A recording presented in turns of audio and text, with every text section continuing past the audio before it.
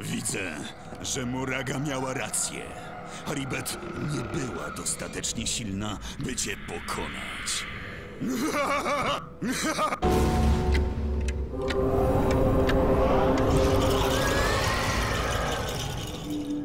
Spróbuj tego!